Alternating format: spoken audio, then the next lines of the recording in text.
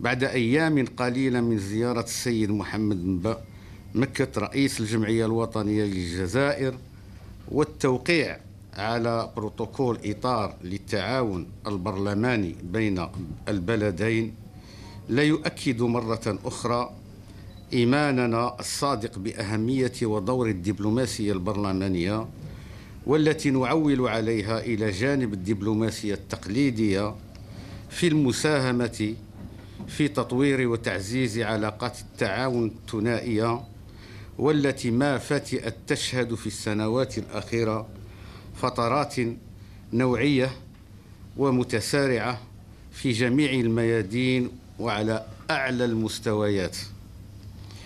ومن خلال هذا الإطار فإننا نهيب بالسادة ممثلي الشعب الموريتاني بذل قصارى جهد جهدهم من أجل تعزيز التعاون البرلماني من خلال وضع برنامج برنامج عمل مشترك واضح المعالم للفريقين البرلمانيين للصداقة وتجسيد مختلف مسارات التعاون والتنسيق والشراكة التي يتضمنها.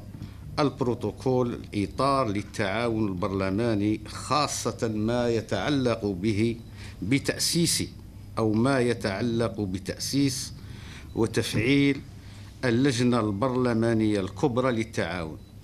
ومن جهتي أجدد استعدادي الكامل للعمل مع السادة النواب الأفاضل من أجل تقديم كل التسهيلات في سبيل تحقيق تعاون برلماني ثنائي مثمر وفعال هدفه خدمة مصالح بلدينا وتحقيق تطلعات شعبينا تجسيدا للإرادة القوية لقائدي البلدين وتماشيا وعلاقات التضامن الأخوية التاريخية بين الجزائر وموريتانيا. وفي الأخير أجدد تشكراتي للسادة النواب وتقديري الكبير لكل المجهودات التي يبذلونها وعاشت الأخوة والصداقة الجزائرية الموريتانية. والسلام عليكم ورحمة الله تعالى هذه اللجنة مكملة ورافدة للعمل الحكومي بين البلدين وتلعب دورا فيما يمكن أن نسميه الدبلوماسية البرلمانية حيث إن النواب يمثلون الشعب ويجسدون إرادته. وهي الإرادة التي يتبدى واضحا حرصها على الدفع بعلاقات البلدين إلى أعلى مستوى.